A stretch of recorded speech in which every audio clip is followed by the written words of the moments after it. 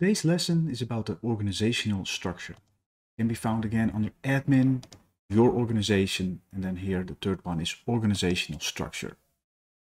By default, and I'm closing these tabs to get a little bit better overview, on the general tab, by default this one is disabled, means there's no check mark on this one.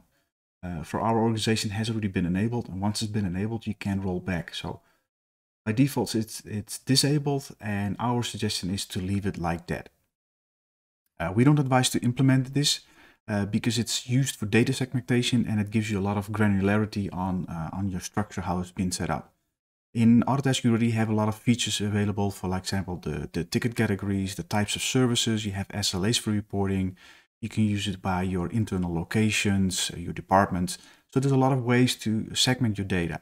If you really are in the need for more data segmentation, then I would suggest later on, once you get up and running with Autotask and you get your, your bearings, then enable this one.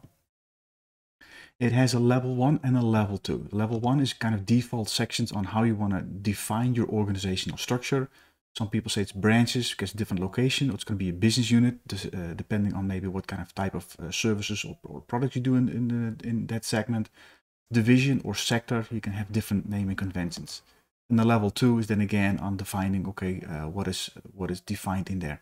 These are canned options from Autotask. You don't have, uh, you, you can't really choose, change those ones. Once you have set it up and then you go to level one, it's basically the division. And it's a little bit easier to first go to level two, line of business, because here you have the ability to add your own line of business names. We already put a couple of them in there, like cabling, IT services, you have the option to do new. You can say, okay, maybe uh, maybe managed services would be also one of those organizational structures that you want to do. The name could be the same as, as the description. Description is not, uh, not managed. And you can have a division that's associated with it. We'll put it over there and you press save and close.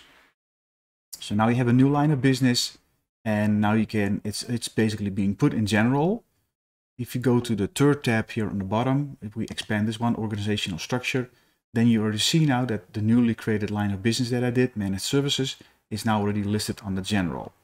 If you want to have a different uh, uh, level one, then again, also here over here, you have the option to uh, create that new uh, new general uh, division, that, that branch, and you can then say, okay, well, that's, for example, that's going to be only assigned with the network install, and that's how you can create those divisions. Once you're done, don't forget to press the save button here on the top and that will give you the, the new setup of, uh, of this one. So the first general tab is to enable or disable it. I would always say expand that one and leave the bottom one expanded because this one gives you basically the visual overview of, of how you have it set up. Later on, you can always make changes on, on how the structure is. But again, uh, this section, if you don't want to use it, then leave it off and just uh, I kind of ignore this section for that.